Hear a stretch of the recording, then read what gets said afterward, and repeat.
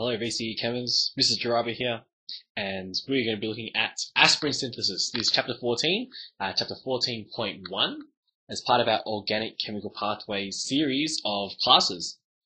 And uh, we're going to be looking at aspirin, otherwise known as ASPRO, and we have a question for you to start up with. So when you see the question, just like the previous class, give yourself 30 seconds. I'll count down for you try and find the right answer. This is multiple choice out of the 2010 uh, chemistry exam number one. Ready for it? Here we go. Your time starts now.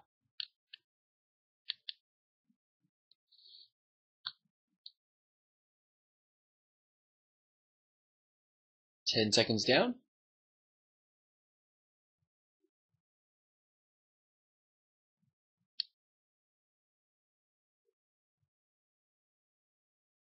And another 10 seconds.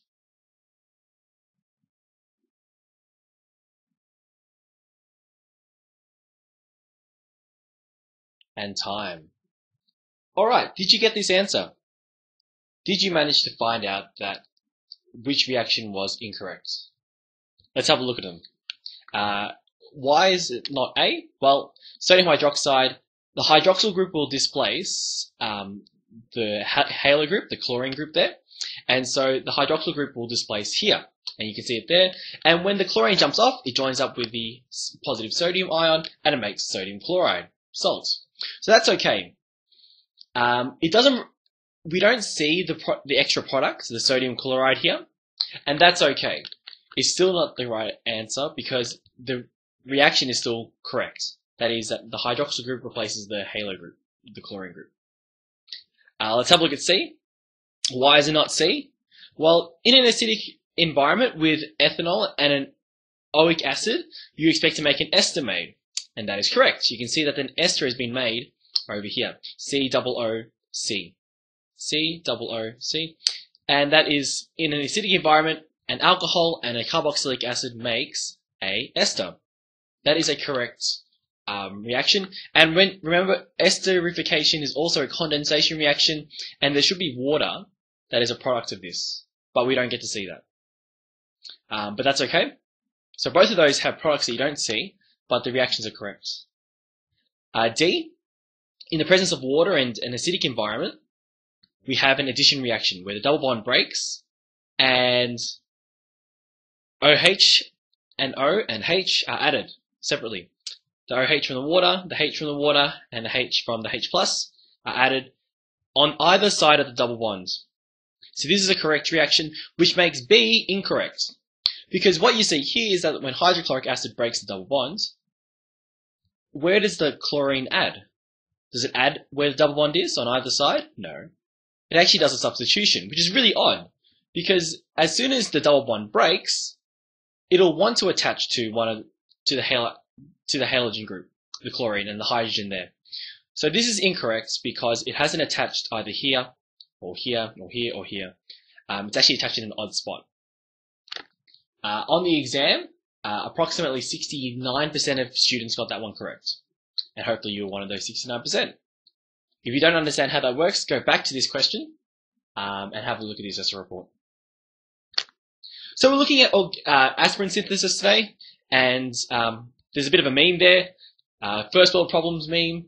Sometimes you get a headache from something quite annoying, and aspirin could be the thing that gives you that kind of pain relief. Um, aspirin is a analgesic.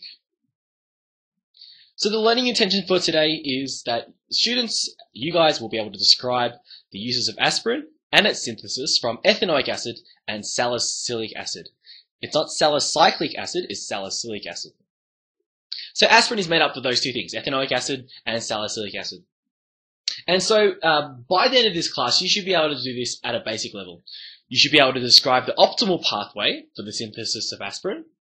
Remember, optimal pathway from the last class is the one that takes the least amount of steps, least amount of waste products, and is the fastest, most efficient, best cost, best cost efficiency reaction you can have. And the second is this, that you should be able to describe and discuss and explain the considerations of aspirin's solubility, the difference between acetyl salicylic acid and salicylic acid. What are the differences between the two? here are some tips for you, as always. Um, for these uh, online classes, make sure that you have your textbook open and, and watch and listen as you go along. Uh, feel free to pause and review content if you don't understand it. Um, if it's getting too much to handle, press pause and um, try and figure it out for yourself. Make sure you write down the learning intention success criteria and achieve them. Uh, one tip that I would give you with the success criteria is if you can make, if you can actually write an answer for each of the success criteria that answers it, then you've actually achieved it. So give that a go. Make sure you write down important things like summary notes. Um, I haven't been able to check your notes at the moment, but I hope that you have been writing summary notes and not just listening to the lecture and going, "Oh, I'll remember it all by the by the exam." Your understanding increases greatly when you actually write down notes. And make sure you answer you write down your uh, further questions and discussions on Edmodo. And these slides will always always be available online there. So we're going to look at uh, aspirin synthesis and what is it?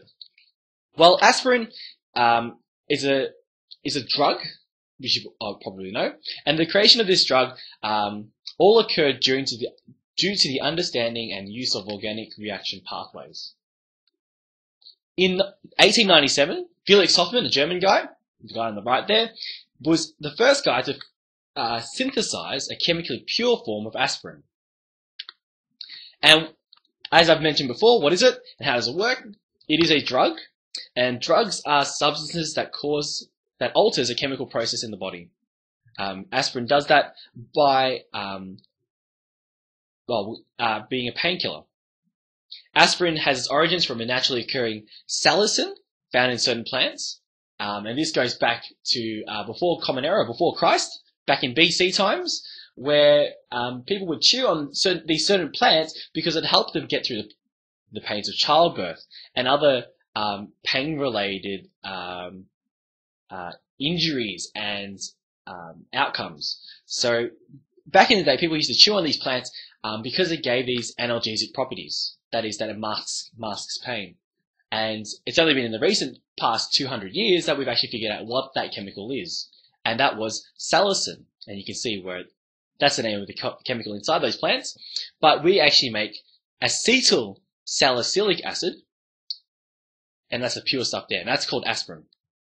There's the acetyl group over here, like acetic acid, ethanoic acid, acetyl. That's the acetyl group. And the salicylic acid bit is this bit here. Okay? And it is actually an esterification reaction. Esterification is a reaction between an alcohol, and a carboxylic acid. So let's have a look at how it's made. The first step, like I said, it starts off with ethanoic acid, um, but when we do this um, esterification reaction, we don't actually use um, an alcohol. We don't actually use straight ethanol. What we do is we, re we react ethanoic acid with itself to make ethanoic anhydride. Anhydrous Anhydride means without water, and you can see that the ethanoic acid has been, had water taken out of it. It's a condensation reaction. And ethanoic anhydride is what we react with salicylic acid to make aspirin. And the reasons for that you can find in your book. So once we've made ethanoic anhydride, then we react it with salicylic acid, and you can see that it's that esterification reaction. There's your, um, it's almost an esterification reaction. Um, you have the OH group and the CH3CO group there. And as they bond together, ethanoic acid is produced and acetyl salicylic acid or aspirin is created as well. And that is almost the end of the class. So uh, what I want you to do right now is to actually read through the, through 14.1 and answer questions 1, extension 1 and extension 2 on page 225 of the Heinemann 2 textbook. And make sure you create summary notes for that chapter, 14.1. For the uh, success criteria number two, explaining the considerations of solubility and the difference between acetylsalicylic acid and salicylic acid, um, you need to do those yourselves. So actually read through the question, read through the textbook, and find out the answer and answer those questions yourself. If you're wondering why this class was so quick, and you're probably wondering hoping that I give you more details. The reason why is because when you get back uh, for term two, uh, there will be a SAC, And the SAC is all about aspirin synthesis. You're going to be going on an excursion, creating, asp- uh, creating aspirin, and writing up a report about it as well. It's part of your extended experimental investigation. And uh, the next online class uh, will explain how your SAC's going to work. And so you're going to be doing a lot of the heavy lifting in terms of understanding aspirin. I've just given you a bit of a taster and the fundamentals, all very important and part of the study design, and you will explain, explore it further on the next class. Alright, so that's the end of the class. Study well, make sure you uh, submit uh, any questions on Edmodo, and work hard, work well, and that'll be all.